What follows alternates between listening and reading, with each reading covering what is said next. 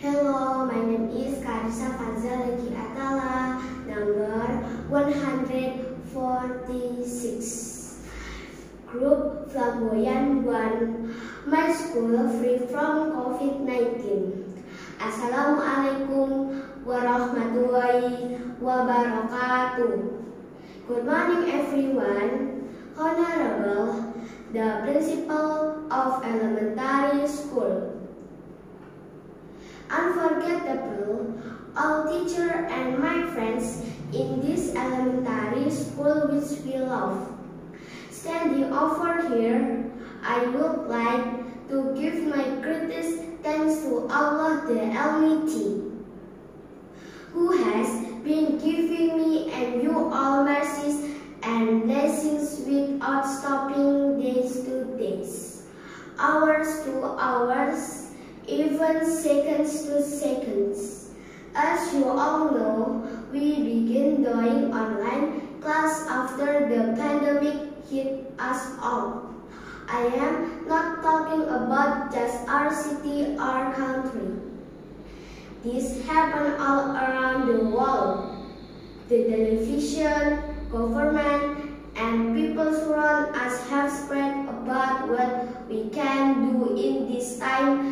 stay healthy and still perform our duties as a student.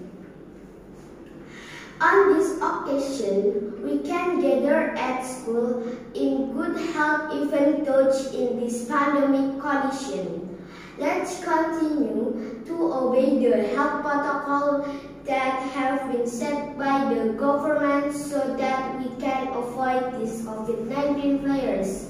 At school, we must maintain good health protocols so that we together with friends and teachers avoid this COVID-19 virus, such as wearing masks, washing hands, physical distancing, and others.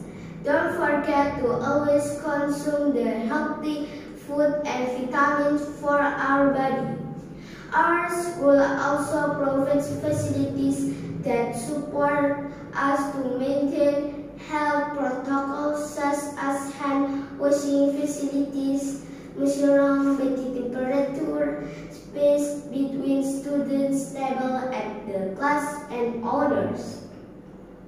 Every student in this school must be aware about this virus.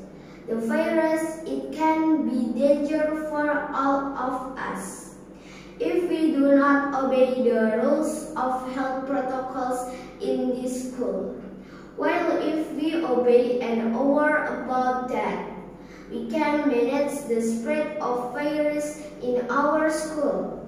But we can work alone.